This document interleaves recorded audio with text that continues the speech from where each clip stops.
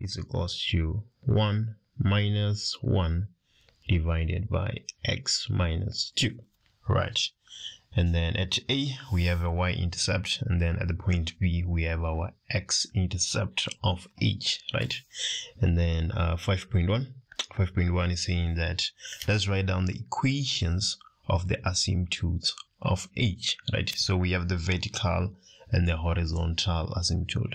Let's start with the vertical so vertical asymptote right? Let's yeah put our attention to the vertical asymptote so the vertical asymptote it comes from this part of the equation right? Let me show you how.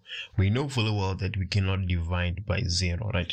So if we say x minus 2 is equals to zero then we will find a vertical asymptote the x value the graph is never allowed to touch because if it touches that point then we divide it by zero and that is not allowed right? So if we solve this we're gonna get x is equals to 2 and just like that we have our vertical asymptote right?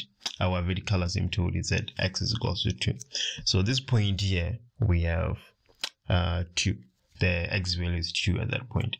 And then now that we have the vertical asymptote uh, figured out we just need the horizontal asymptote so let's go ahead and find the horizontal asymptote. Now I want to show you something. h of x, right, it can never be equals to 1. Why am I saying h of x can never be equals to 1?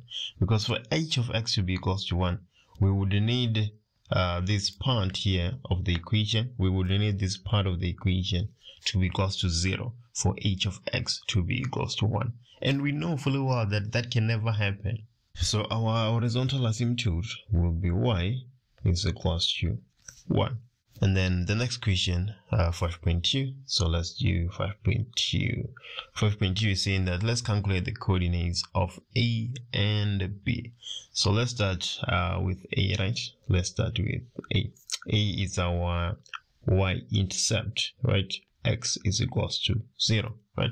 So if we substitute that into h of x, so h of 0 will be equals to 1 minus 1 divided by 0 minus 2 right? So we just have 1 plus a half. And then what is 1 plus a half? That's one and a half right?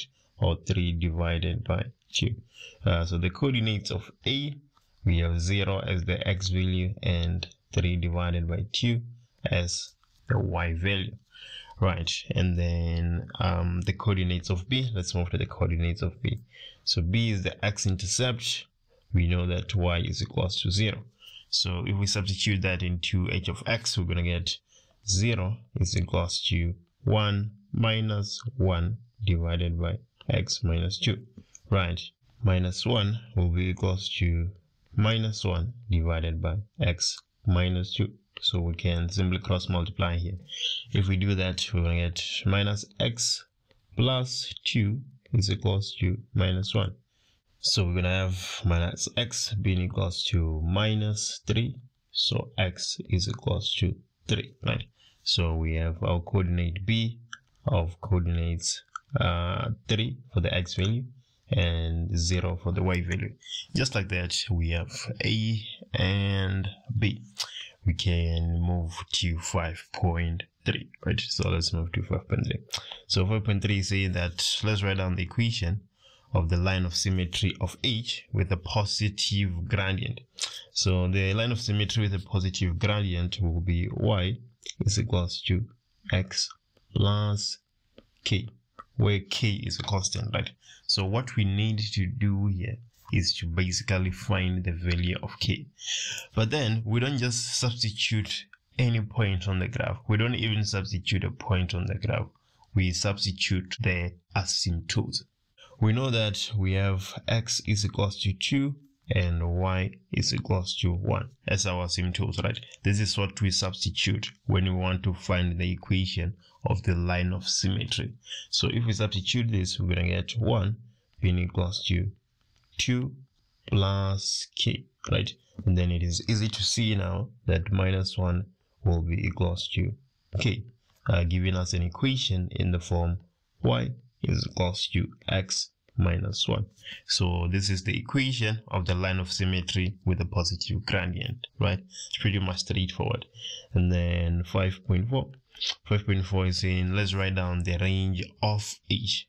y is an element of real numbers, but y is not equals to 1 because in 5.1 when we were talking about the horizontal asymptote we say that y should never be equals to 1 right?